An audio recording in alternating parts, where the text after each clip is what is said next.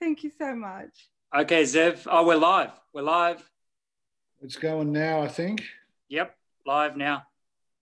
It's on? Yep. Awesome. All right. There we go. All right.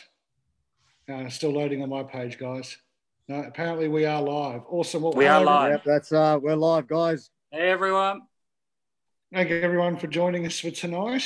Um, got a couple of our guests that are a bit under the pump for for time wise, so we'll uh, get you to go first, Serene. Uh, and then we'll hear from Pete since you guys are under the under the pump for time tonight, and we'll go from there. Thank you, everyone. Thank you so much, uh, Zev, for uh, providing these very important platforms uh, for uh, uniting us together and creating the connections within the community that are very, very important at this time.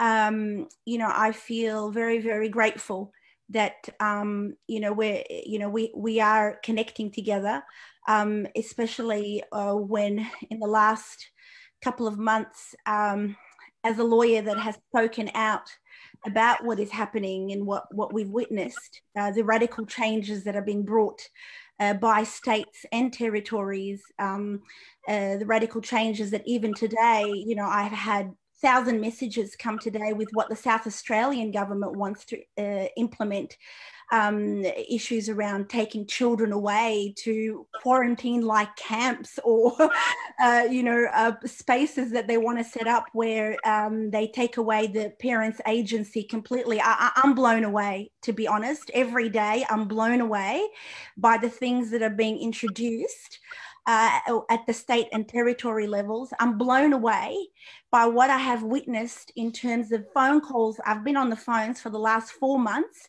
um, intercepting and assisting uh, so many people who are finding themselves in situations that truly are, uh, are un- unfathomable. Uh, for example, yesterday, a lady called me in distress. Her daughter's come to Queensland from Melbourne. She's got Asperger's and Down syndrome, and um, and the police has just detained her at the airport and put her in hotel quarantine when her mother is her carer. I, I mean, things that are phenomenal. I've had to contact the health minister. I'm pleading with the health minister right now, Queensland's health minister please get this girl out of quarantine and put her back with her mum. Uh, you know, things that are just um, beyond belief. You know, a, a, a young lady at the border, uh, Adelaide, they let the mother go through in one car and then they stopped the young lady who's pregnant at 21 years of age and they wouldn't let her go through. She had to spend four days at the border and I had to plead with the chief health minister to get her to cross. Um, I'm blown away. I'm blown away by what I'm witnessing. People every day calling me from hotel quarantines, from um, uh, you know, forced vaccinations, childcare, every space. They're not letting them uh, work. They're not letting them see their elderly parents. Um, elderly abuse. I mean, I, I'm blown away. Elderly abuse in aged care facilities and aged care centres. People are not being allowed to see their families at the moment of their death you know hmm. i'm blown away. I mean you know what do you do? I mean how many bullies are there that you have to mitigate? I mean how many fires you have to just put out? And this is about a nation that is now being encouraged to bully each other. When you have laws that are unchecked when you are saying that in an emergency anything and everything goes and all of our processes and all of our laws, whether they're written in the Biosecurity Act or even in the respective public health acts and emergency acts in each of the states and territories. This is not how we anticipate to deal with public health risks. It's an absolute outrage. You don't go around and suspect everyone of being COVID 19. Healthy people are being detained. Healthy people are being asked to test. Families in primary schools and, and, and high schools, if, if, someone is found with COVID 19 positive um, test, so that, you know, the RT PCR test, it's known that if you are positive on an RT PCR test, it doesn't mean you're infectious. But every single person who's testing positive has been told you're infectious. It's an outrage. And then what they do is Uh, so I've got many parents called up saying that apparently they've been told that, that, that their child has been exposed to COVID 19 and therefore they must be tested. and they won't even give them the contact. They say, oh, contact tracing, oh, anything goes. Anyone can be contact traced, apparently. But there are prescribed information that you have to provide. You have to let the person know who they were exposed to allegedly airport staff being told, "Oh, you can't come and work anymore." The whole Qantas airport, uh, Qantas staff being released, like not being told to come back to work because apparently one person had COVID and they won't tell them who. I mean, it's just, it's just an outrage. It, it, blows my mind what is out there.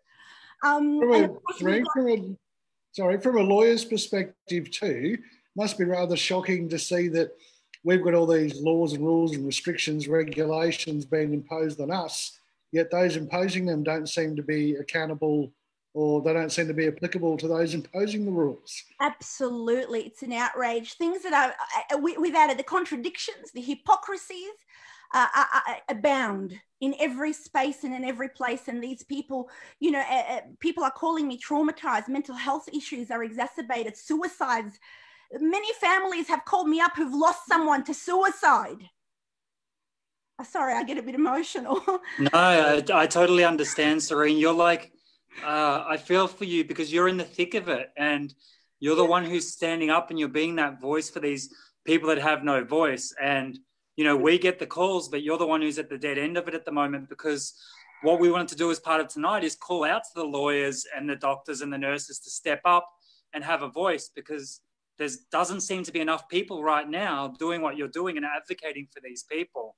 And when we see the facts and the figures and the death certificates getting changed and the nurses getting coerced to write down the wrong things and the doctors that are speaking amongst themselves, but they're too scared to be deregistered, so they won't stand up and make the noise. And it seems like it's all getting funneled to you and you're getting stuck with a big burden. And we want to say on behalf of all the people in Australia and Victoria, thank you thank because you. you're doing so much to help these people and you're coming from a place of love and sincerity yeah, and care absolutely, absolutely. but you've got such a big burden at the moment so you know I can hear yeah, it in I'm your voice. Grateful. I'm very grateful that a lot of people are reaching out. You know, it's also managing that level of um, you know input that people want to have genuinely and, and i know but I, I, obviously like thousands of messages on my phone i can't keep up you know but obviously i have to prioritize you know uh, for the case and we want to launch we're so close now we're looking at tuesday wednesday launching our class action. The issue is the end to end you know i'm looking at the end to end of this process you know when you have a state of emergency declaration under the law you have to ascertain a significant health risk and there has to be honesty in the narrative. There has to be honesty in the words that we use to describe things. When we say this is a deadly virus, we are being told a lie. A lie. Language is very important because it creates the fear mongering and then it creates the, the perception. Undoubtedly, the biggest killers remain in our society the cardiovascular disease, cancer, and respiratory disease. And God knows how many people have died because elective surgeries have been stopped. Okay, goodness me, how many people from mental health issues? And then well, let's look at the process. Why are they so desperate to put COVID on the death certificates? Hey, what is this? Where we're heckling? Are we in a heckling process? The doctors are heckling for COVID 19 to be on the death certificate when you've got comorbidity of diseases, terminal cancer, diabetes, uh, or, uh, cardiovascular disease when people have been uh, suffering from these diseases for a long time. Let's look at the statistics and line up last five years and look at and look are our ICUs any more higher than they, they were in previous years? No, the answer is no. Let's look at influenza statistics and pneumonia statistics. Oh, you only have to look back to last year. 3,000 people died of influenza and pneumonia. Absolutely. The year before, exactly. The year before was 2,900. The year before was 4,000. Absolutely. All of a sudden, influenza apparently disappeared in Victoria, but guess what? The influenza statistics in Queensland and New South Wales, equivalent to this year, apparently they're more. Queensland has more cases of flu than Victoria's cold weather. Yeah. Sunny Queensland has more flu apparently this year than Victoria. How is that right? Well, all of a sudden the influenza knows at the border, oh no, we can't cross the border now. Influenza says, I can't cross the border. Okay, this is where influenza stops and COVID starts. Where is the honesty? You're talking to doctors like they've got no logical, it's logical fallacies that they're, that they're talking about. Completely dishonest. And it's in their own statistics, it's in their own data. Australian surveillance flu statistics, you only have to look it up. This country yeah. knows how to monitor itself, and therefore you can't you, you can't ignore a lie. And I think those ones that aren't stepping up and saying something, if you look at the facts and figures for every three deaths from COVID, it looks like there's two deaths due to COVID. So whether that's the elective surgery, the suicides, so there is blood on these people's hands. They really need to look and do a conscious check, conscious, yeah, have a look inside, do a gut check, and say, I need to step up right now. Like the time is now to step up yes. and do something and yes. say something. It can't be all to you, Serena, because uh, yes. uh, Serene, because you're taking too much of a load at the moment. But we need people to step up now yeah. and do that gut check. Yeah, and I'll say something. Where are all the experts? Where are all the professionals thumping their fists on the table and saying this is unacceptable? If you think for one minute they're not coming for you, for your businesses, for your jobs, for your for, for anything you have built in terms of your property and in terms of your bank accounts don't be under any delusion that you are protected Serene, can I ask you can I ask you a question? Yes. And I've asked this question to a lot of people. Where are people like you, like the lawyers? How come more lawyers haven't stepped up to form an alliance or to form a group for the people? Is that something you're working on? I can't work on other lawyers who, who are morally bankrupt. Hmm. Okay, I can't work on other lawyers that, that, that have no conscience. Okay, I can't work on an industry that has become infiltrated by uh, uh, privileged, privileged rich kids. Okay, most of them come from privileged rich backgrounds. Okay, I have only a handful. I've been going at this for months, and I'll tell you what I get from other lawyers criticism, put downs insults. You're the only one doing it from other lawyers. That's the disgrace of our, our legal fraternity that is populated by entitled rich kids who've grown up not understanding all the larger law firms. They've all got deals with the government. Do you think that they have the audacity to stand up or they're worried about their government deals? And the small suburban local law firms, you know, this is not their expertise. Administrative law, public law, constitutional law is not their expertise. But all those that do have the expertise are working for the larger government department and for the larger law firms or the middle class law firms. Mute or critical. Oh, I didn't know about this opinion, Serene. Maybe this opinion is better. Really, you're all screwed. We're all screwed based on what's happening right now. Yeah, because people don't want to open their eyes. It's cognitive dissonance. They're so upset about this. But, you know, I've been at it, investigative. I've been doing a lot of, not just as a lawyer, I've been doing investigative journalism in many ways, gathering the data, gathering the information, looking at their own websites, looking at the end to end process. How do you report COVID? How do you assess it? Hospitalizations, how do you codify it? How do you clinically diagnose it? And then how do you report it at death point? Yeah. Here's from the end to end process, it's corrupted. And this is by their own words. This is by their own information. And then you just have to look, as I said, match up the statistics. You don't have to be a genius to go work out something is not adding up here. And then when you have families and you have uh, Troy on the on, on the line today, and I'm his lawyer, you know, and and uh, you know when you have families who've been traumatized with the death of a loved one, being patronized, being told COVID is the main death, the main factor, and the families are having to negotiate, going, no, that's not true.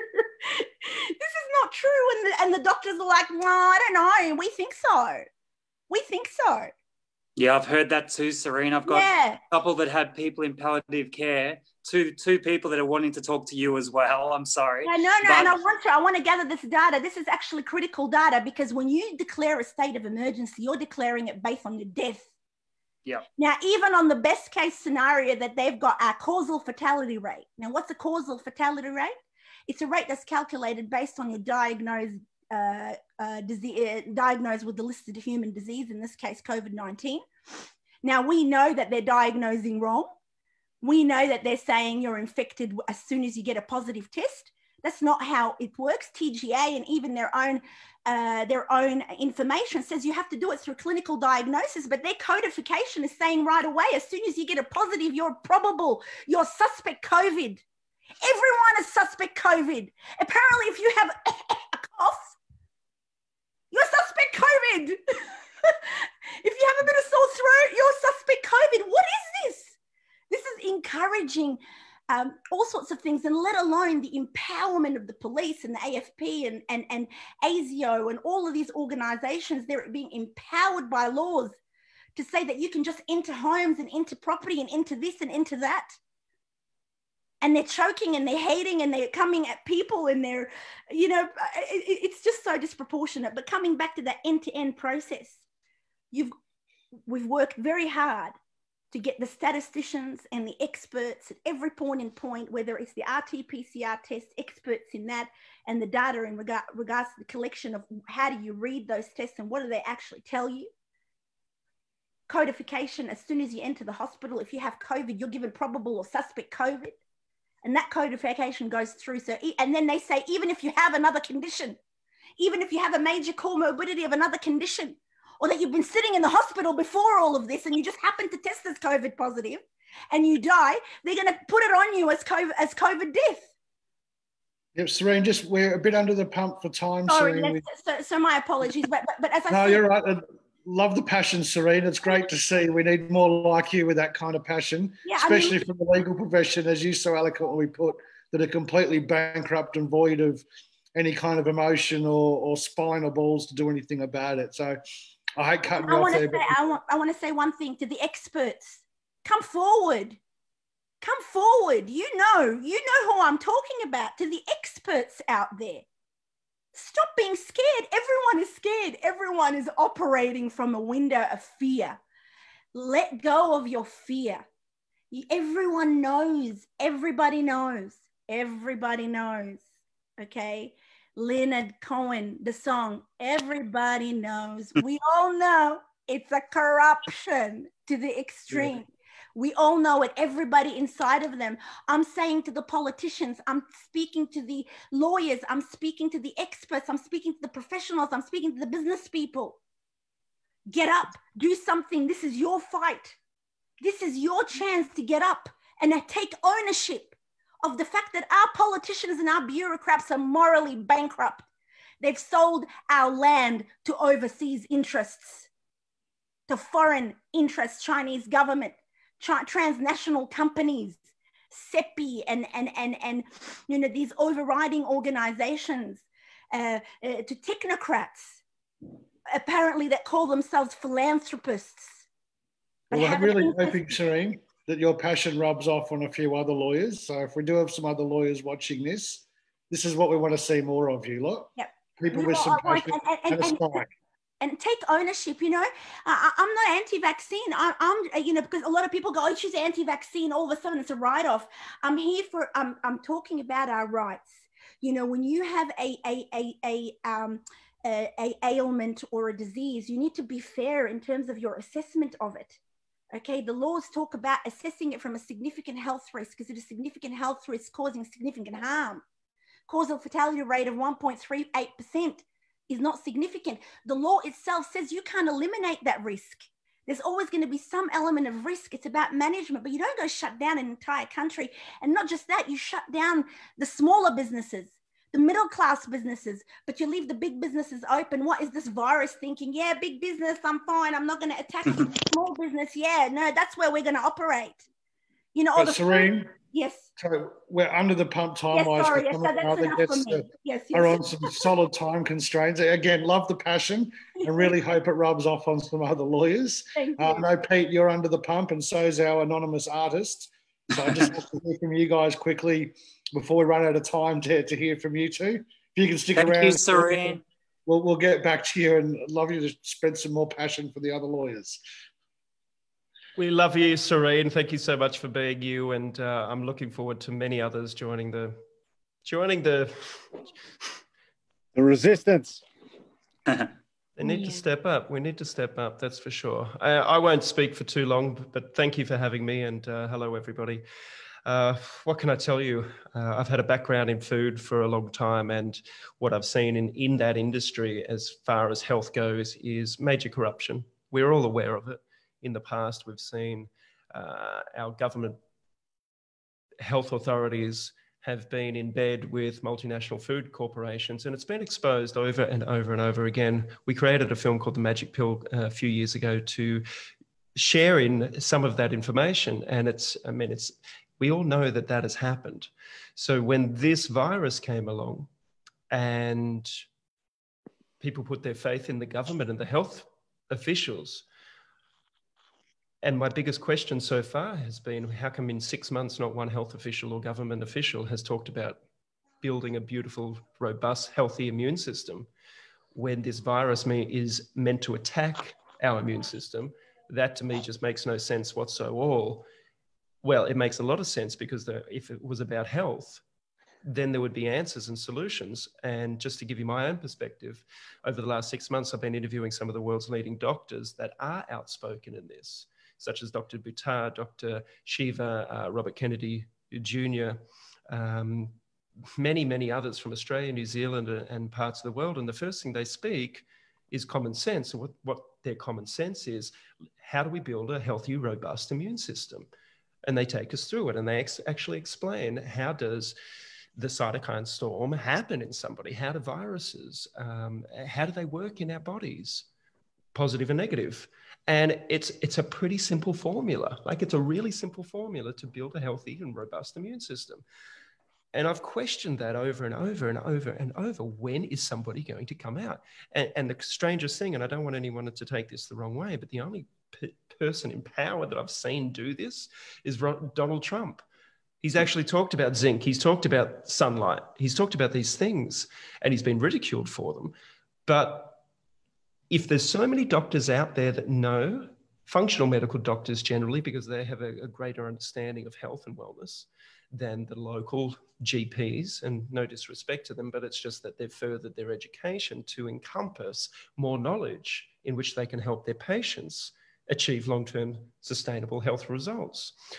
So, in saying that, I'm still waiting for somebody to come out and say, hey, you know what? This attacks the immune system. So why don't we all look at reducing inflammation in our body, the first one, and look at the pillars of health that we can all, each and every one of us can do today to be our best versions of ourselves. And, and that's been my message over the last six months is to encourage people to be healthy, physically, emotionally, spiritually. And we all know when we're out of alignment, how do we bring that back to alignment? Because when we are physical, physically, emotionally, spiritually strong and present, that's how we can change not only ourselves, but our, our environment, our community.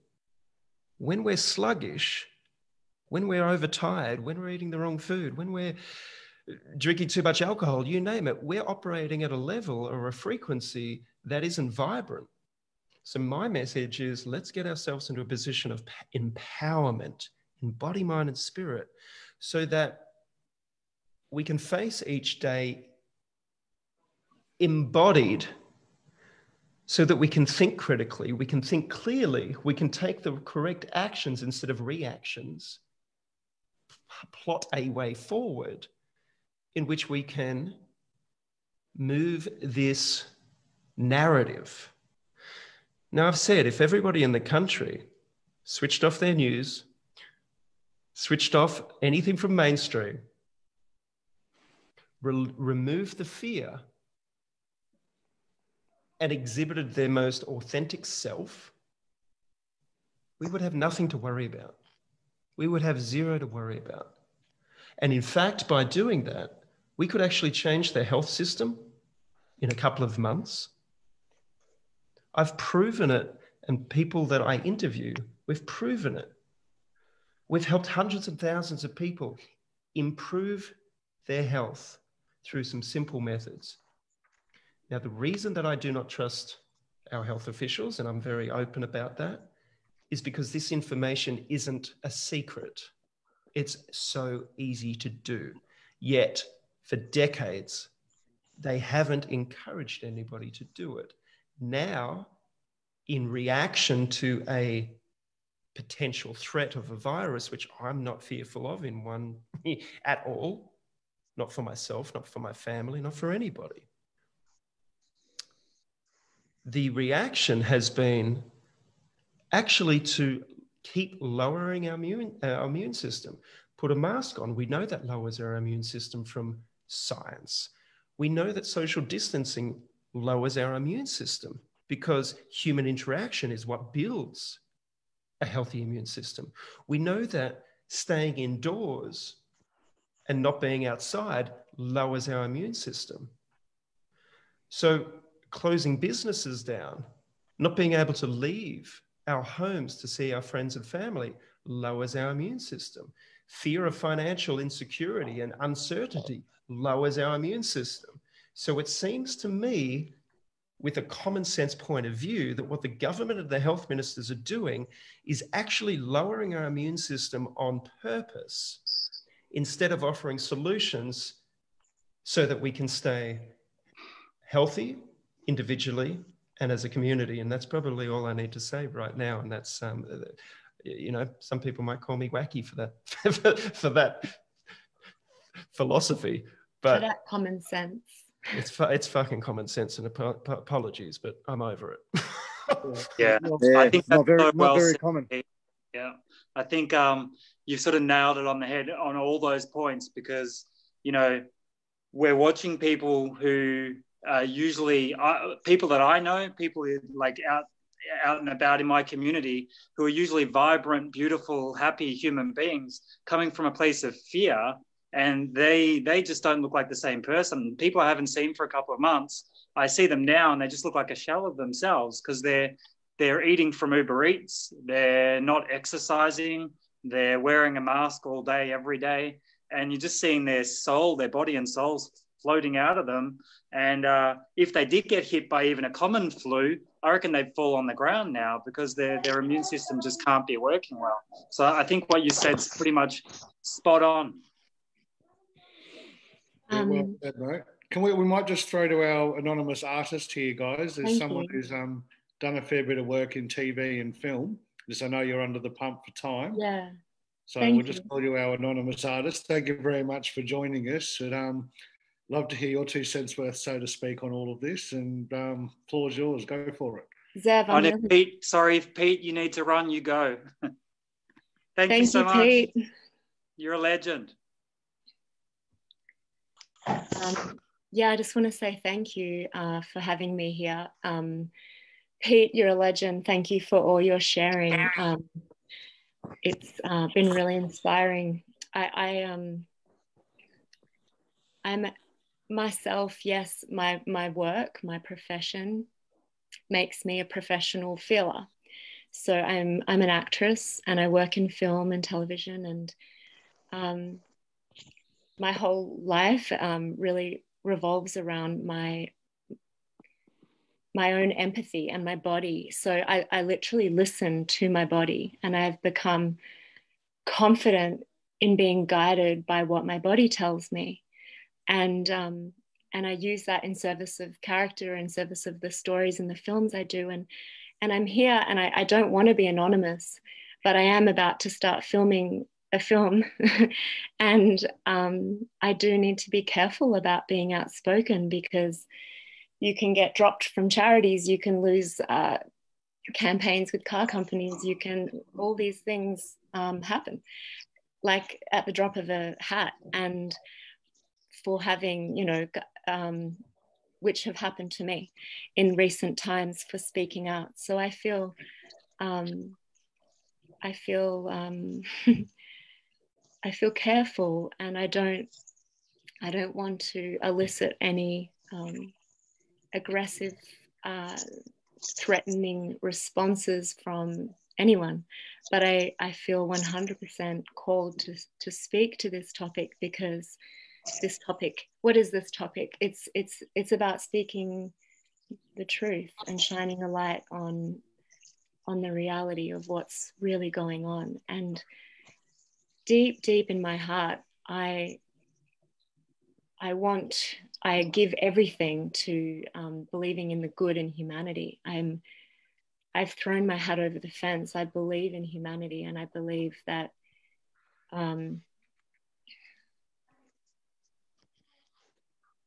we're magical, amazing, living, uh, you know, embodiments of of spirit, and it's amazing what we're what we're doing here. But yeah, it's it's also there's a certain level of agenda and darkness that has had authority, and that has had um,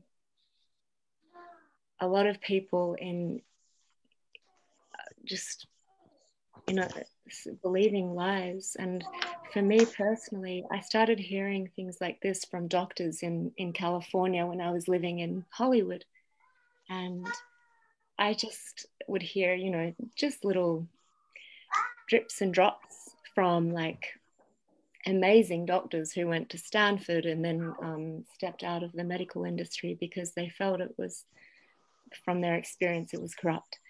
And um, this would go on and on and i'd keep meeting people. And i thought it was crazy. I thought it was madness what they were saying. And I, I, and then a few days later it would come back to me and i'd realize no it's true. So all of what they were speaking about is, is what we're facing right now. And, and um, I do I do believe I do feel or I, I observe that the more loving that we are the more intelligent we become. And um, so when we are in fear states it's really we, we just follow what we're told and and um, I, again um, what else what else do I want to say I just want to circle back to something Pete said about um, Trump because I watched a very interesting video just um, today that a friend sent me, and it's it was on YouTube, and it's is Trump a light worker? And I, you know, he's just such a divider. Like I literally left Hollywood because he came into power.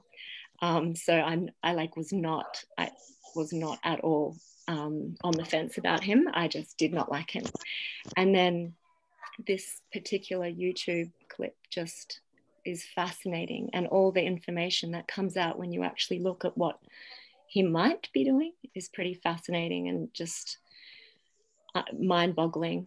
Absolutely mind-boggling.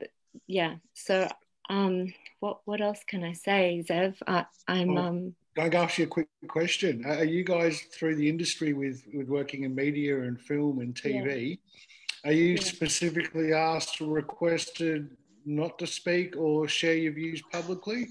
Is there anything that you're sort of requested or slightly implied not to do so? It may affect your work habits, or is that just sort of the way it is? Um, well, it's not like there's. I, I did receive an email from the council asking me to do a video for the community to stay home like a stay home video because of COVID.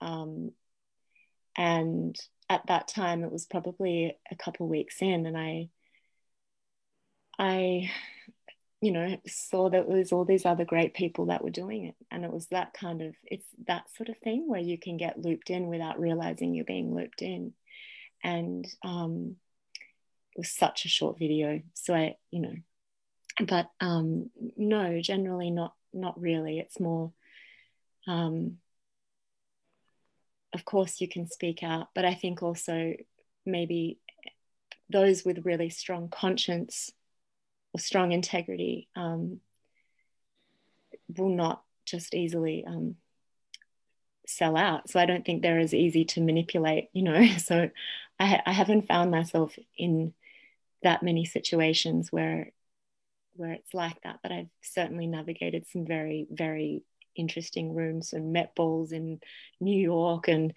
uh, Hollywood blockbusters and been in some very interesting spaces. But um, again, I also believe in um, synchronicities and that we um, and divine timing and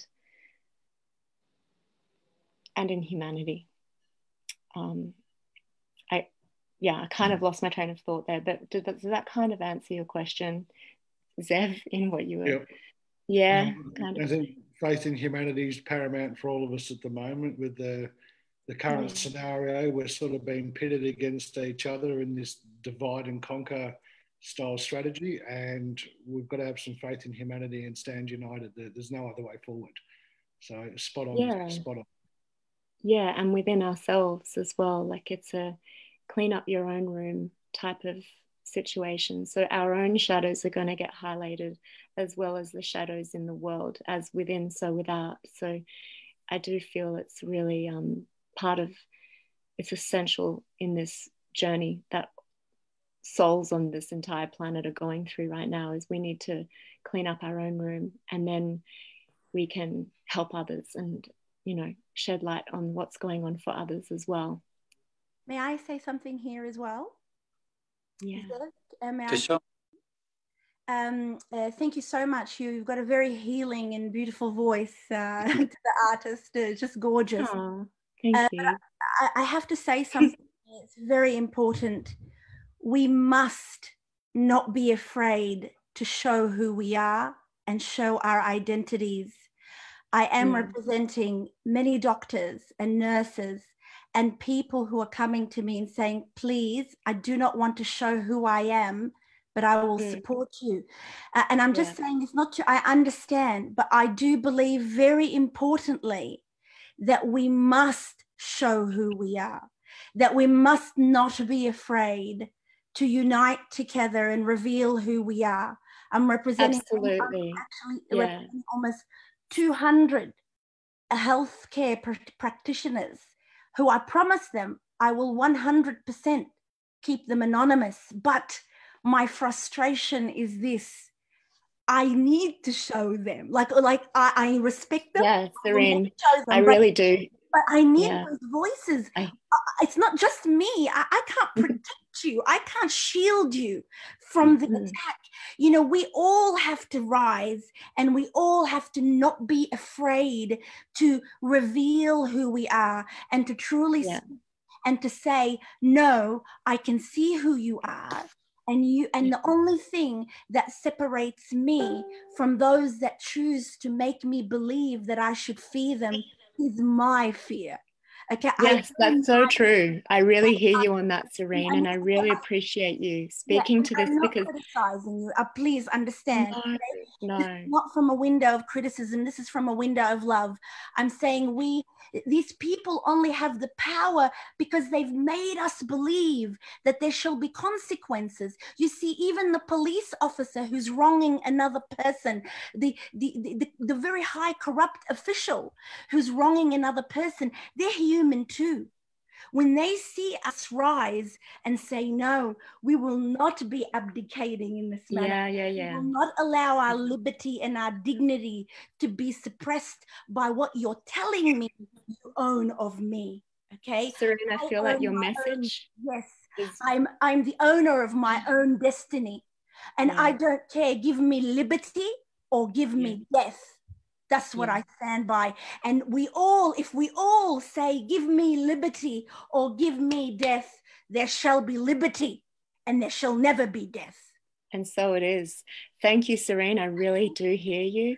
And I literally said to Zev before I came on the call that if I if this film wasn't about to shoot next week, that I would I you know I would show up and it, it is actually quite tied to what I'm working on. no criticism, please. Okay. And and and, and, Yeah. and this is about those who are truly influential. yeah. Okay? I'm saying the doctors, the nurses, the, the the people who can make a change, Mm-hmm. the people who know what's going on. Mm, Okay. Speak Yeah. out. You know, I've had We might throw Serene sorry, I will stop you. I'm freezing up. All right, And I have to say, I'm so sorry. I have to leave. I love you all. Thank you. Please join the class action when we launch on Tuesday. Love you, Troy. Mwah. Okay. I'll speak to you guys soon. Thanks, Serene. Bye bye. Right, thank you, Serene. thank you. Lots of love and to you. So, um, I was just gonna I was just gonna put out one thing that I've picked up over this last week, and that's um and uh I don't know if um, the artist formerly known as someone else wants to talk about it as well, but um, we're getting a lot of com- comments. What's happening is in Victoria in particular, there's a bit of an upscale at the moment, so the fear factor has gone through the roof. Um, I tend to talk a lot about the similar things coming from a place of love, uh, vibrating at a high level. Because mm. we're going in and out of lockdowns, we're sort of on a roller coaster. So we're up high, then we drop low, come up and drop low. And what it's done is it's inbred this feeling of helplessness within the community. And the people that I'm talking to just want people to stand up for them. And I totally understand where you're coming from with the film coming up and everything else as well. And there are a lot of people that are sort of speaking up in the background and they will come out and talk when they're ready, when the, mm. it fits into their lifestyle as well, because we all have to be mindful of our jobs and our livings and everything as well. And I think, um, one of the big concerns that people have is about uh, vaccinations. We've just been talking about it in the last week they're looking to put vaccinations into some of the nursing homes around Melbourne. And I think vaccinations are a thing that people get scared about because we we want as a community, and Serene was kind of touching it on, on it before. Um, with anything, vaccinations, 5G, anything like that, we want to be able to have pro-choice. It's not about anti this or yes, we'll do that. We want to be able to make choices in our life, and I'm guessing um, when I go back to you, the artist, um, you're about that kind of thing in your life as well, that people should be able to have choice. Yeah, absolutely. Um, but it's a given. Yeah. I might just, guys, because we're pumped for time to not draw this out. Um, how much time have you still got, artist, or are you on the on the clock at the moment for us to come back to you? I've probably just got another few minutes. But you probably want to speak more with the nurses and the doctors, right? Well, I'm just going to say we might throw to our um, our lovely nurse X that's mm. been very patient and waiting, um, particularly with Matt touching on the vaccines and stuff. We'll get to you very soon, Troy. Sorry to have you on. And if you've got anything you want to say too, Troy, just pipe up, mate. And you've sat I'm, I'm, patient. Yeah, I'm just happy to listen. That's no problem. All right. Um, well, look, Nurse X, do you want to do a little quick intro? And We'll go with our uh, Master Agent X up the top in a minute then as well. But might um, go to Nurse X if you can unmute yourself and just do a little bit of an intro and um, fill us in on some of the info you were filling me in on uh, when I spoke with you a couple of nights ago.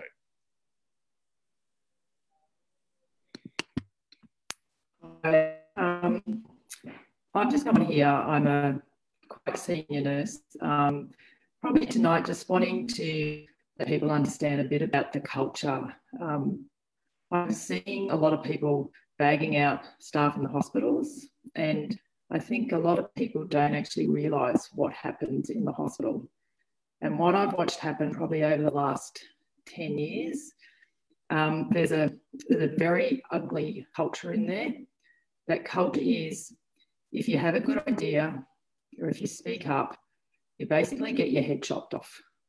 I'm seeing a culture where nurses who are maybe a little bit outspoken, nothing radical, are getting pushed out of jobs um, with no references and actually being pushed out of the profession.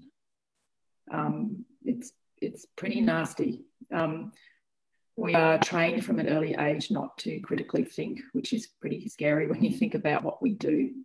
Um, when it comes to vaccination, we um, we have no training. We are told basically it's necessary. People who refuse it don't know what they're talking about, and that these children will die if you don't have it. There's no training. There's no training on the side effects. Um, we don't even know how to educate people on the side effects when they're vaccinated. Um, do I see vaccination reactions? Oh, yeah, but we're not allowed to talk about it. Um, uh, the other thing I was talking about the other night that people don't realise is PCR testing. So people are under this false impression that PCR testing tests for a virus. So things that you need to know are one, this virus has never been formally identified. So basically, you can't test for something that's never been formally identified. Um, the other thing is how PCR testing works is it doesn't actually test for a virus. It tests basically for a trace of the DNA left behind from a coronavirus. Um, the maker of the test is quite clear when he says this is not to be used for diagnostic purposes. Now, we've been using these tests for several years now for viruses. Um, I've never been instructed to use them in the way that we're using them currently. Um, we're actually causing trauma to people with the testing. Um, I'm not sure, Zev, is there anything else you really want to talk about? Well, look, yeah, a little. I wanted to touch on certainly. Um, how you guys are talking with the vaccine, the, stuff you were filming the on um, the other night about nurses being shut off and speaking to each other. Uh, maybe a little bit about how that culture is starting to change amongst the profession. Uh, and the fact that you guys who are trained in ICU, etc., aren't getting um, you guys aren't getting shifts. And if we're in a pandemic, you'd think they'd be putting more of you on, not sacking you for your views on social media. Yes, well, um, we are warned not to speak. We are warned we will be counselled. Um, I, I'm ICU trained. I have not had a shift for four months, um, and I'm in Victoria. So um, I have lots of colleagues in the same position. The general public under the impression that our hospitals are overwhelmed. I have never ever seen our hospitals as quiet as they are now. Um, within these hospitals, you can be working side by side with people who agree with you, but you would never know because you know not to ever talk about it because it's divided. You never know who your friend is and who your enemy is even though we have casual banter on a daily basis, um, you you cannot voice these views if you um, vaccination, um, vaccinating an unwell um, child, um, you are automatically called an anti-vaxxer. Um, you learn to go about your job and to not say anything. People are under this impression that nurses are free to speak. Um, they're not. Um, and those that are awake won't speak, and those, a lot of them are asleep. And I can tell you they're sound asleep, and they have been well brainwashed for a long, long time on how to behave at work. They won't, if you talk to them, they would look at you in surprise. They don't even know it's happening. It's it's unliminal. So I'll hand over to Zev. Mm.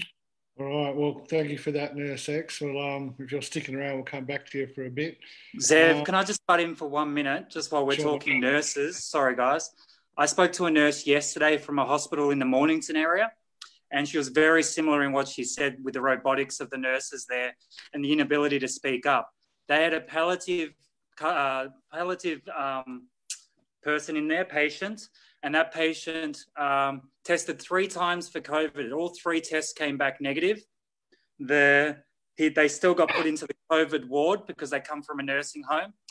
They, on the morning that, that they were about to pass away, the family came in to say goodbye. The family had to wear full PPE equipment, masks, shields, gloves, the full equipment, while they said goodbye to their loved one who tested negative three times they never got to kiss or touch or feel the person's skin again before they said goodbye. That person then passed away. The nurses spoke amongst themselves, saying that something's really wrong here with what happened here. The next day, uh, the family came in and spoke to the doctor. Two of the nurses tried to speak up and got shot down by this doctor and told not to speak up or they would be deregistered.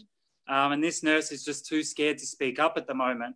Again, probably going to go through the serene route, but it goes along with what Nurse X said. There is a lot of fear out there for speaking up. There's a lot of that cognitive dissonance that they're stuck in this culture of doing everything in a certain way. But what I want to say is don't be fearful of speaking up because if you don't speak up, and it's a horrible thing to say, but you really have these deaths and these blood is on your hands, you need to find that voice to come out and speak now yeah, just to our nurse X, you guys, you must see a bit of this sort of stuff in, in your industry and, and, where you work as well. Yes, um, um, and I've had a little bit to do around some of the testing, and I won't go into any detail. Uh, identify me, but um, what's happening in there? There's a lot of lies going on. Um, well, uh, questions um, and have no to lie to you, but there's a lot of lies that are coming out. Um, these are government organisations and they are sticking with the government narrative. So is this, is this to do with the, the comorbidity rates as well, as we talked about the other night?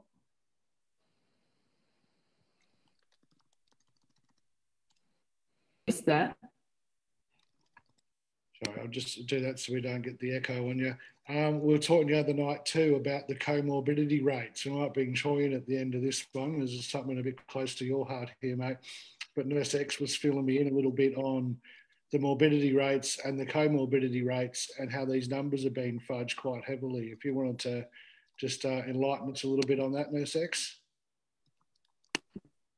Yes. So what you may hear in the paper, um, then uh, they're not that uh, a lot of these infected people have they're in hospital for completely other reasons and they're dying for completely other reasons, um, but they're being counted as COVID deaths. There's a lot of lying going on. Yeah, and I must agree that I'm getting the same thing through my inbox in my Instagram. Probably again, three or four different people's families, including Troy, that are saying that they're having loved ones that have got one had um, lung cancer and hepatitis C, and yet COVID 19, he got put into the COVID 19 ward straight out of the uh, nursing home and got marked down as a COVID death. They contested it with the doctor. The doctor then changed it. Now, usually a doctor won't talk to a patient backwards and forwards. So even the fact that that is happening is not, uh, for me, the ethical practices aren't happening here. There's a big, for me, there's a big cover up of sorts that's happening. And I guess, yeah, like Zev said, this is a good time to speak to Troy. If you want to have a bit of a chat and let us know what happened with your uncle, Troy. Yeah, yes. just want to fill everyone in, Troy, and let them know a bit about your story, mate, for those who haven't seen you all over social media already. Sure thing. Um, I, I, mean, I don't even know where to start. Um, so my uncle has, well, well, he, yeah. Sorry, just give me a second. Um, so my uncle had terminal cancer for a number of years, and there's a lot of other pre-existing conditions that he had. He was in a nursing home for just almost uh, two years. Now, um, before I get into the story, I just want to encourage anyone that has a similar story like mine. Feel free to, you know, send me a message. I'm happy to point you in the right direction, and Serene will definitely look after you. I can assure you that Serene is a true professional, and she certainly made me feel comfortable, especially after my video coming forward. And I had a conversation with her before the video and also after the video, and she's been really great to deal with. So I, I strongly recommend, you know, if you're not comfortable, I'm happy to keep you anonymous and we'll have a conversation and try to encourage you to, you know, to to come forward. But so my uncle, terminal cancer, um, and he was being in palliative care for six weeks. So palliative care, for anyone that doesn't know, you're obviously on your last legs. Um, my uncle had three tests done for, for COVID, so the PCR test. The first test came back negative. The second test came back negative, and then the third test came back positive. The positive test came back on August 7th. This was four days before he passed away. So he passed away on August 11th, just to for everyone to think about the timeline. Now, the doctor, you know, thankfully we have a recorded conversation from the doctor um, with a phone call with my mother. And the, the doctor had a conversation with my mother in which we spoke, well, they spoke about the, the, the cause of death, really. The number one thing that obviously caused his demise. And the doctor's opinion at that point in time was that it was COVID 19. My, mom, my mother obviously disagreed with that assessment given the timeline and the history. And it is of my opinion as well. You know, if someone's got terminal cancer, like what does terminal mean? Terminal means that it's pretty much game over for them as soon as you get that announcement. If you're at stage four cancer or even stage three, I'm not too sure how, how it works for different types of cancers, but this is a man who was 72 years old. His name was Errol, for everyone that is um, is wondering what his name was. And he was a great uncle. He, he really did a lot for us, and he's a very big family man. And I'm sure that a lot of people can probably understand what it feels like to lose a loved one and not just to lose a loved one, but obviously to cancer. And in, in, in some ways, it was a good thing that he passed because he had such difficulty just living. He, uh, for, I mean, to put into perspective, this man wasn't eating solid food for 12 months. So he was not eating solid food for 12 months. This isn't a man that was ready to fight. He was he was on his deathbed. He was dying, and um, you know, much to the um, the they're obviously I don't even know where to go from here. Yeah, Troy. I mean, it's a hard time as well. You like it's not far from and our thoughts are with you. You've just lost your uncle, obviously, and it's a lot to go through. It's a lot to process with what happened with the conversation with the doctor and everything else. And I think what you've done is really courageous in stepping up and talking about this, um, because you know if you think about this, um, what's happening here is we've got a virus that is really 99.75% of people are recovering from this virus. Um, of all the testing getting done, 0.4% are testing positive. But when they find someone positive, they contact trace that whole area to get as many tests done as they can to fill this narrative in to do the lockdowns and the masks and everything else. And what we've found as well in our uh, research is the hospitals, and even I don't know if the doctors are getting it individually, but the hospitals are getting paid paid for every COVID case that goes through and every bed that's used for COVID and every ventilator.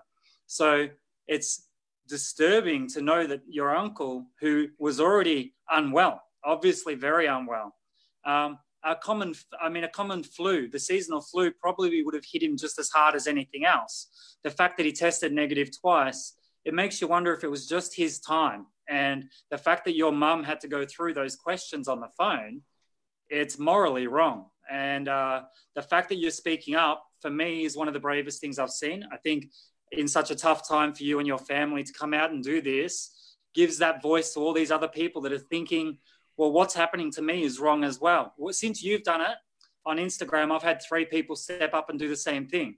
So, and we're going to get them in touch with yourself and Serene, and you know the action will happen from here. But what I was hoping tonight is that we can encourage other people who watch this, who think that something's not quite right, like what happened with you, to step up and speak as well. Definitely, and uh, I also want to make it clear this is something. This is an interesting fact. Um, so tested positive on the 7th of August. My mother got a phone call on the 8th, so she's the power of attorney as well. Now, with this phone call from the head nurse, she was told that my uncle was asymptomatic. So I find it very, very curious for all the listeners that you know a man that is has terminal cancer. This is lung cancer, by the way. So obviously respiratory issues. So you'd think that COVID would, if if anything, like logically, would be an issue for a man that has cancer with a compromised immune system, wasn't eating solid food, six weeks was in palliative care. This is a man that was asymptomatic. And I find that concept very difficult to believe as well.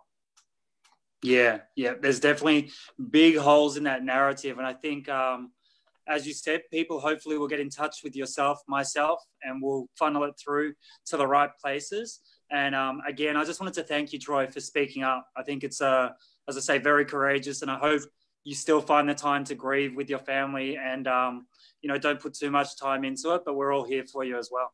I appreciate that. And I also want to quickly say that, you know, I was very, very nervous to come out and do that video.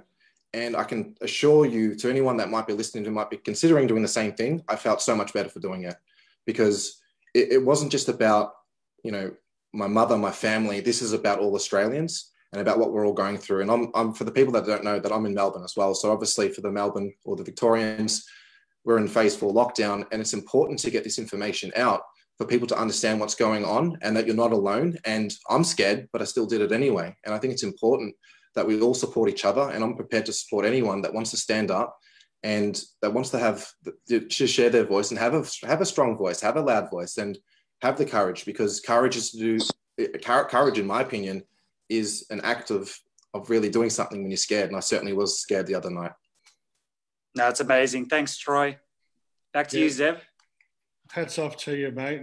One for going through what you're going through and, and being brave enough, one just to face the fears, and two to come out and do what you're doing publicly, mate. That's um, hats off to you for doing that. Absolutely. Oh, thank you.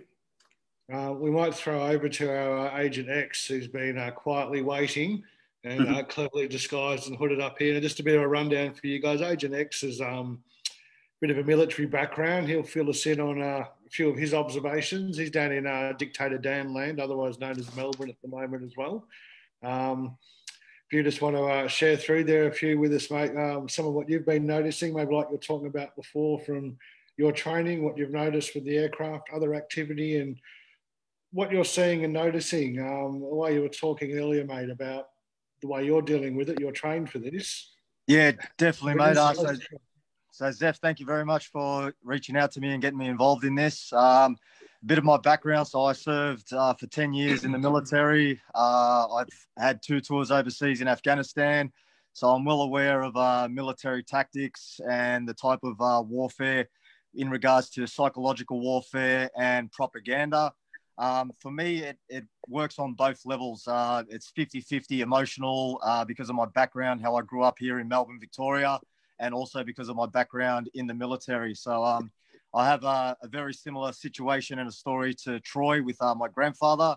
He passed away uh, during the first wave, um, and same thing. He was used as a guinea pig. Um, they tried to treat him as a COVID patient. Uh, we had to go there on his deathbed and uh, wear full PPE gear.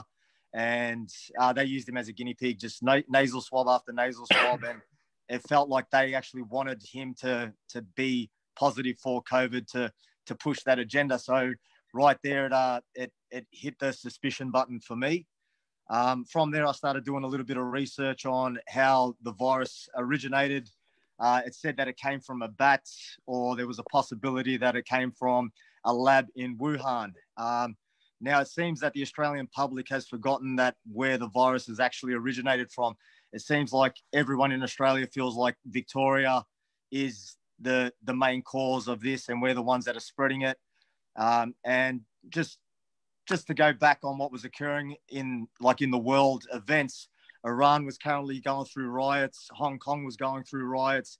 Italy and France were going through riots. They had the yellow shirt movements. And then once this uh, pandemic came into place, it, it, all stopped. So obviously there, it was it, it turned quite political. Um, also from that's, there when the shut Sorry, that's mate, spot on. 2019 was the biggest year of protesting ever ever in the world. So you're really spot on with that um, narrative as well. So yeah, just once I started seeing that people actually standing up against their governments and wanting a change, then that psychological fear just came in because the government came up and created this this scamdemic or whatever they wanted to use just to to scare the public into saying, hey, they've hit you on an emotional level. Um, everyone is a possible. So it's it's a silent war. There is no more combat war. There's it's not a physical war where people are walking down the streets with guns or they're dropping bombs on the streets. Now it's a it's a psychological war. You know, there, there's a silent enemy. There's this silent killer out there where now everyone is the enemy. Your, your family, your friends. You know, any anyone walking down the street, you've got this this paranoia now that anyone could be carrying the virus. And with this, like I'm no epidemiologist, but um, asymptomatic to me sounds it, it just sounds quite suspicious that someone that's fit and healthy that you know wants to improve their immune system is now punished for going outside and getting vitamin D or you know getting fitness or just being with their family as uh, was stated by some of the other people. Um, from there uh, once once the shutdowns came in I started noticing because of my background I'm, I'm very observant and I started noticing a massive rollout of uh, 5G towers just popping up all throughout the entire city, uh, in in the CBD, in the western suburbs. So it, it started um, like I, I don't, I'm not a firm believer that it is causing the virus, but it just gave me some sort of suspicion that there is an ulterior motive going ahead. So for it to be rolled out under the cover of COVID and be popping up with where no one can protest this untested technology popping up in our city, it was uh, quite suspicious for me as well. So the more research I'd done, um, it just started uncovering certain things into where it was coming from. So Wuhan was the first place that rolled out 5G. And then um, I started looking into the politics behind that. So with Dan Andrews, his ties to the CCP, his ties to uh, the Metro Tunnel, the Westgate Tunnel, all the railroad movements, Cedar Meats, all this stuff started uh, setting off um, light bulbs in my head saying, well, hang on a sec. Well, Victoria has been a, a, a democratic country for a very long time or a state. And all of a sudden we're just getting used by China. Everything, all the steel has come from China. Uh, John Holland was the contractor that has been employed to do the Metro Tunnel and the, the Westgate Tunnel. And uh, they were actually purchased by a Chinese company back in 2015. So right there, that's more suspicion. And also the steel that was used in these tunnels was from China. So if you if you're looking at what's happening in China right now, uh, the Three Gorges Dam, they're all collapsing due to rushed materials and rushed labour. Also, it's it's quite a concern. Um, yeah, are you noticing too? Sorry to cut in there, but from the military tactic, you guys are obviously trained in um, strategy as well as various other um, tactics. Are you That's seeing correct. a bit of the uh, divide and conquer strategy here on the people so that there is, you know, the, the, the government powers the be don't have to do the fighting, they're pitting the people against the people? Exactly right. So divide and conquer. A lot of people forget that um, this is not just Australia. This is a worldwide pandemic. It's not just Victoria that is in a state of lockdown or in a state of pandemic. Um, I think that a lot of people are very naive, or a lot of people have never read a history book in their life. Um, they forgot about the Holocaust and how Hitler uh, was able to achieve what he did with uh, the Aryan race. It was a propaganda campaign. He bombarded the Germans uh, and just telling them they were superior. They were superior. He used radio. He used pamphlets. He, he used speeches. And, and this is what I see right now. Our, our government, what they've employed here in Victoria, especially through the CBD, you can't go anywhere and escape it. There is posters everywhere. Every time you turn on the radio, it's COVID. Every time you watch the TV, it's COVID. Every time you walk into a shopping center, they have maintain your social distancing. This is COVID, COVID and this has been going on for six months. The brainwashing is it's just absolutely phenomenal right now, and people don't realize that because they are living in a state of fear. We have Stockholm syndrome. We it's it's ridiculous. Like this 100%. is the biggest psyop psyop that I've ever seen in my life. You you were talking too, mate. You again with the training and being trained to be a bit more observant of a few things there. Um, the extra aircraft you've been noticing in Melbourne. Uh, maybe you could fill us in a little bit on that, at what That's you've been correct. noticing, so, um, night time. So I've got, I've got a lot of friends that are still currently serving, a lot of friends that are ex ex military, and people that are working for the police force in other states and in this state. So I'm getting uh, updates constantly on what's happening around us. Um, I myself have have broken curfew many of times just to get a feel of um, they call it the signs of life. So um, I've, I've, put myself at risk. I've been called up a few times by the police uh, for breaching cur- curfew and not wearing a mask, just to see what their standing operating procedures are, their line of questioning is, their intimidating tactics, and to also see what they're doing under the cover of night, because that is definitely a military tactic. While everyone's sleeping at night, the enemy is going to be out there and they're going to be setting up defensive positions or setting up positions where they can attack, you know, their, their enemy. So with the, the aerial pursuits, the helicopters is another tactic to instill fear in the public. They're flying over constantly over suburbs, circling and circling and circling. Um, I've heard like high aerial aeroplanes flying overnight with no lights. Um, and this, you can, like, because of my background, you can tell the difference between a normal aviation flight or a Cessna towards like a military drone or a high aviation. And with another thing that I'll um, I'll mention is uh, the police budget. So they've had a 3.2 billion dollar budget in the state of Victoria with an extra 3.2 billion dollars of expenditure. So over the last couple of years, we've had a, a decrease in crime. So for any budget to continue, you need to justify the spending. And with that, if they can't justify it, they will lose that budget. So to me, it just rings uh, alarm bells that they're constantly flying over police choppers, using all their assets, having the police out there 24 7 because the police are becoming obsolete. No one's committing crimes. Everyone's doing the right thing. And we are being vilified for, you know, spending time with our family. So it's, it's, yeah, it's very, it's quite concerning. So very, very much from your background then, mate, a bit of a military tactic for the purpose of spreading and causing fear and That's for correct. the purpose of dividing the people to pit them against each other as well. That's correct. Yeah. yeah, and I, I would agree as well again that when those towers got locked down in Melbourne, they were running fire trucks and ambulances past there at night time. A couple of times I followed them, they drove the block, went around the corner and turned off their lights and sirens. So I think there is a lot of that tactic of instilling fear in people so they'll get the testing done as well. Exactly right. So, and it's the same with the media, what they're doing every day. They're just bombarding people with fear like it's Dan Andrews has become the spokesman for COVID. Like in a normal circumstance, they're like the resources that have been used. Yeah, just imagine the taxpayers' money that's going into the advertising on the radios and all the propaganda that's being used to to instill fear in in the uh, the public of Melbourne and Australia because it's just it's social engineering and it's social conditioning to think that this is you know this is normal. It's it's definitely not normal. Yeah, and it's leading towards a state of full surveillance and it's leading towards a state of mandatory vaccinations. The fact that they're saying you won't be able to travel for two years, you're going to have to wear masks for two years, is setting people up psychologically so that when a vaccine comes out, they'll line up for it. Exactly right, and and people have uh, actually gotten quite upset with me that I've compared the the Australian Defence Force and the Australian Police Force or uh, Victorian Police Force as Gestapo, and I, I, like I've, I've I've read a lot into history of their tactics and what they do, and, and it just goes hand in hand. It's it's it's crazy. Yeah, it's the slow erosion of our rights until there's none left at all, and it's not until that point where there are no rights left that everyone goes, "Hey, what happened to our rights?" Well, they've been eroding them slowly for a long time, guys. It's it's crunch time. Time we all united. We didn't buy into this fear BS Exactly. Uh, and, and it's so un Australian to, to, to rat out your mates. You know, you, are meant to be like I served for 10 years. I fought overseas for like on two tours, and, and that's mateship was you're, you're in the trenches with your mates. You know, the Anzacs, the traditions, the rats at Tobruk, the diggers, that mentality, that that mateship, that, you know, you, you're there to stand by your mate regardless of season, weather, or terrain. And now, right now, they're turning us against each other.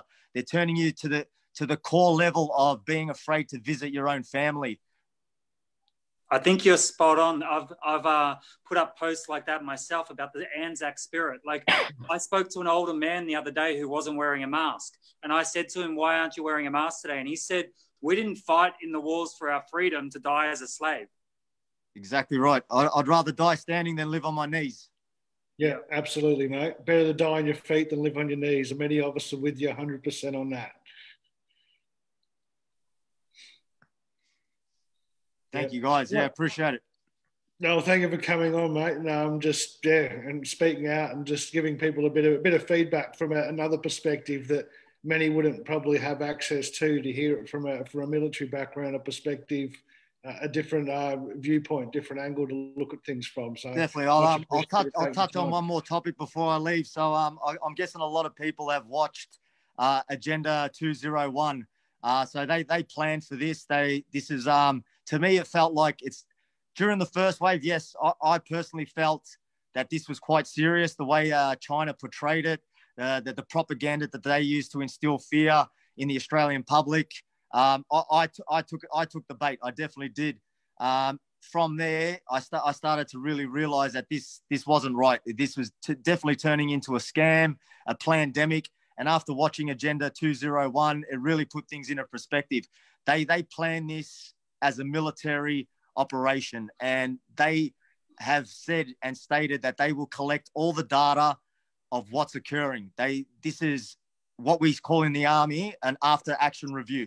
So at the end of all this, they are going to accumulate all the information that they've acquired over the last six months and they will submit it to the powers that be and they'll say this is how the people complied this is how they long they complied for this is where the resistance was this is what you know different types of certain things. This is how um, transportation worked, and and they're just going to continue to try this until that they've they've perfected it. Well, last last quick one for you there, mate. While we're, while we're pushing it for time too much, um, any info or intel you're able to uh, be forthcoming with uh, regarding the ROEs that any of your mates have uh, forwarded on to you? So the, the the one that was quite concerning was um, some people, a lot of the soldiers coming from interstate. So right now, the the Defence Force or the Army personnel, Navy and Air Force, they are actually trained medics that are conducting the nasal swabs. Um, they have currently flown in uh, a lot of CFAs from all around Australia. CFAs are combat first aiders. These guys are unqualified and they are not medical practitioners. They are going to start conducting conducting the nasal swabs and testing people for COVID around Victoria and around Australia. And also, these medics in Australia are quite concerned about these combat first aiders flying in without the qualification conducting these nasal swabs. Yeah, and and our ROs, ROEs that you guys have been all at the moment. So, so the, the rules of engagement like? at the moment they're, they're unarmed. So they're just here.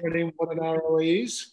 So, uh, yep, ROE is a rule of engagement and SOP is the standard operating procedures. So, every soldier's briefed on this before they deploy. So, they're currently under the Operation COVID Assist and they've been uh, directed to just assist the police force. They haven't been given any directions to detain or restrain anyone. But within my experience, uh, these ROEs and SOPs can change overnight Um, all they need to do is receive a set of orders, and within within overnight, they they could be armed and patrolling the streets and restraining families and conducting mandatory vaccinations. Well, there you go. So a bit of inside intel for everybody. Um, and MJ and Sergio, these mates of yours, are they? Yes, mate. All right. Well, if you guys want to speak out a little bit, anything you'd like to put forward from MJ and Sergio, feel free, guys. Now's your chance. Um, yeah, I think um, this is my first Move conference, uh, Zoom conference. So I think um, I just tried to let them know what was occurring. I think they've just joined randomly. So that's all right. Well, look for, for MJ and Sergio, if you guys want to have a, uh, I'll flick his little ask to unmute. If you guys want to come on and have anything to say, please feel free. Um, some more intel is always good to get um, different perspective from a from a point of view that most civilians wouldn't have access to. So again, mate, muchly appreciate you coming on and uh, having a chat with everyone tonight, and just to no give that viewpoint that most wouldn't have access to. Thank you. Stay safe, guys, and thank you. I appreciate it. Thanks a lot. Thank you. Right, doesn't look like the other guys want to. Doesn't look like they're going to speak. Maybe I'm not sure. No, no, I don't. I don't think they will be. I think they were just observing. That's all right. No worries. the mates are yours, then we're all good there, mate. So that's not a problem there. Look, no, before we wrap it up, Troy, you, you've been relatively quiet other than that. Anything you want to add to or viewpoint? Anything you want to say to that? No, I think the the number one thing that like I think most people are not sure what to do. I think if something doesn't make sense, listen to your gut and and follow follow your heart. And that's exactly what I did because you know something wasn't right, and I was like, I need to investigate this. I need to ask some questions. So if you're not sure about anything, I think it's important to listen to your gut, ask the questions, and then you'll get the answers. And eventually things are going to start coming out. And then for the people out there that are a bit nervous to stand up, like I said, I was very nervous. Like even when I like I did that video the other day, I was extremely nervous. Even even right now I am because it's all very fresh. Like my uncle only just passed away, and it's very difficult to talk about. So I'm sure there are many other, you know, families out there. There are many other people out there that are affected. I think the best thing to do, and the best thing for me to do, and I feel great about it, was to stand up. And I encourage anyone that has just even a, just a slight inkling or just a, a little bit in them, anything that's in you, inside you, that you, you know what to do. You need to stand up and you know have a conversation, get in contact with one of the guys here, and even Serene, who's also representing me. Like I said, she's been nothing but great. And um, you know, this is only the beginning because there's no end game in sight right now. So we don't know what tomorrow is going to look like. We don't know if this is going to be another three months, six months, twelve months. When are you going to stand up? You know, I think the time is now for everyone to realize that this isn't going to go away unless we do something about it as Australians. And it's important for us to all stand together. That's amazing, Troy. And um, I'll just say one last thing from my perspective. Um, with our ADF guy that came on board, it's not something to be fearful of, the things that he's putting out there. It's something to be aware of. So if you're not aware, then you're asleep. You need to actually um, understand that if you come outside of that, um, that thought process where you've got your blinkers on and you're just watching mainstream media, once you open up those blinkers and have a look outside, you'll see the narrative is breaking down. And my gut feeling is the people in power, the people in government, are fighting amongst themselves now because there's so much that doesn't quite add up. And people who have been put into their homes, although they've been fearful, a lot of people are researching a lot.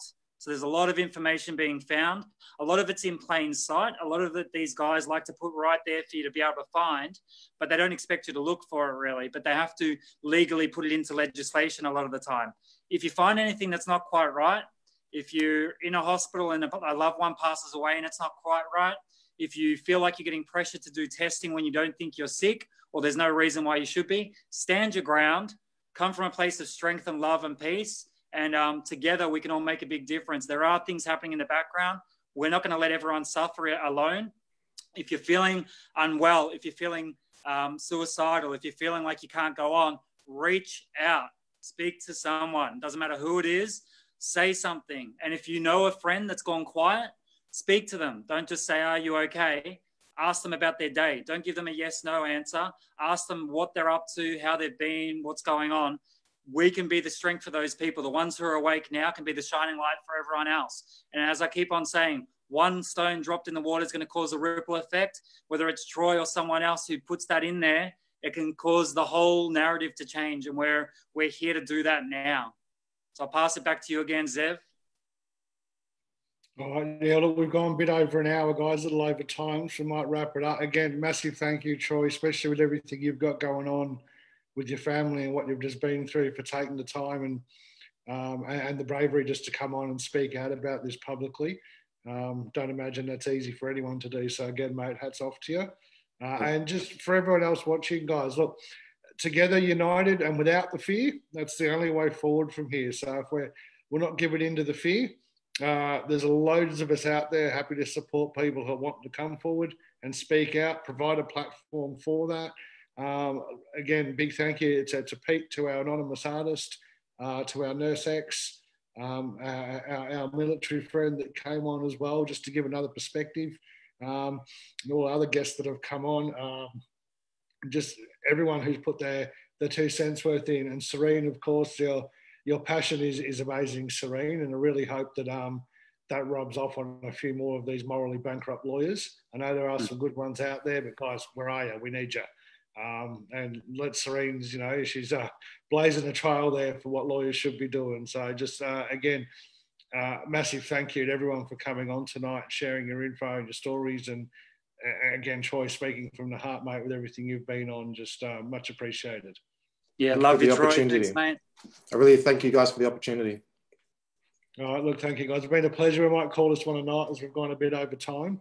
Uh, and again, thank you to everyone that came on and joined us and to everyone for watching supporting. Uh, I'll go and have a look at the comments in a minute.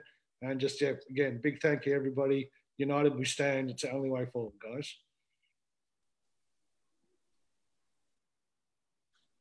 I'm frozen up. All right, call it it. I don't think it's turned off yet. Bye, everyone. See you guys. Thank you. See you later.